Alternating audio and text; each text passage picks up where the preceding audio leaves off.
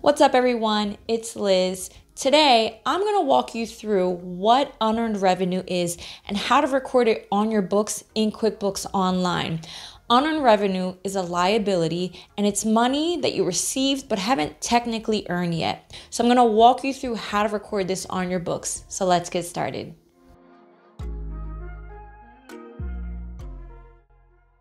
Okay, so first, what we're going to do is we're going to take a look at the invoice that we have for these services. So, as you can see right here, we have Amy's Bird Sanctuary, and they paid ahead of time. They paid for all of the third quarter. So, you could see that the quantity is three at $2,500 a month. So, that equals $7,500.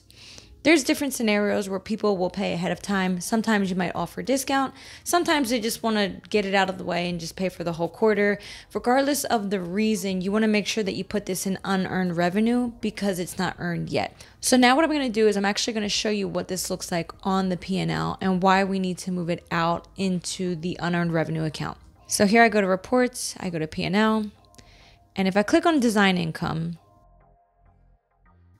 and as you can see on the bottom, we have the invoice that was paid for the 7500 so now what we're going to do is we're going to go and we're going to create an adjusting journal entry and i'm going to pull the entire 7500 out and i'm going to put it into the unearned revenue account which is going to be sitting in the balance sheet. So let's go do that. So here's the 7500 if i click new and i go to journal entry i'm just going to make sure that i move this out.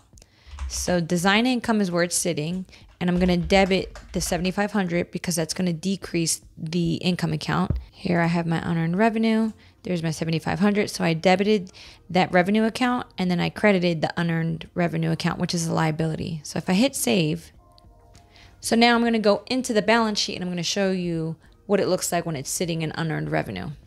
So here under the reports, I go back to the balance sheet and as you can see, now we have this balance of 7,500 sitting in unearned revenue. Again, unearned revenue is a liability because you have not earned that yet. So now what would happen is each month when you work off that amount, you're just going to move it out of unearned revenue and put it into that income account. Now I'm going to show you a little trick. We're just going to create the journal entry now as a recurring entry and you don't have to think about it. The only time that this doesn't work is if it's like a project based income thing where it depends on the amount of hours so that your income or your total is going to be different each month. So because this is monthly recurring, we're going to move it over and let's do this trick so we could set it and forget it. So from here, I'm going to click on the gear and I'm going to go over here to where it says recurring transactions. Now, if I click new, I'm going to click journal entry and okay. And here I have this set up, which is Amy's Bird Sanctuary, and I'm going to do it starting on July 1st, and it's going to end after three occurrences because it'll be July, August, September, which is the whole third quarter.